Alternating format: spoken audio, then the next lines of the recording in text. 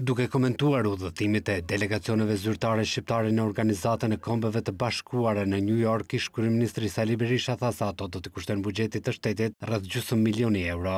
Berisha tha se delegacioni i kryeministrit Rama dhe i presidentit Begaj është një ndër delegacionet më të pazakonta për nga numri i anëtarëve. Udhëtimi për në Organizatën e Kombeve të Bashkuara i Edi Ramës dhe presidentit të vendit, do të jetë njëri nga udhëtimet më të kushtueshme të përfaqësuesve të një shteti. Tridhjetë e pesë vetë ndodhen në delegacionet e tyre në Nju Jork. Një numër i tillë i madh është më i pazakonti dhe që do të thotë po të kemi parasysh se Edi Rama refuzoi të pranojë në Ismailin e tij delegacionin e kryetarit të shtetit, do të thotë një shpenzim gjer në gjysmë milion euro Po ky është vetëm njëri aspekt. Vjedhjet e tyre janë të përditshme dhe të pafundme.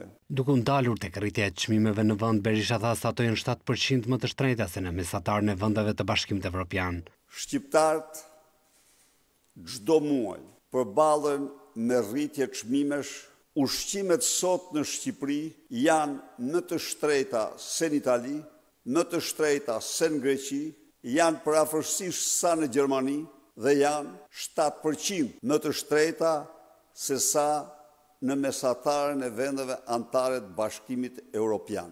Këto çmime e bëjnë Shqipërinë një vend të pajetueshëm e bëjnë jetën në Shqipëri të papërballueshme. Si zgjidhje për këtë situatë, Berisha sheh vendosjen e minimumit jetik prej dyqind eurosh në muaj, për të cilën tha se opozita ka depozituar në Parlament ligjin prej disa muajsh.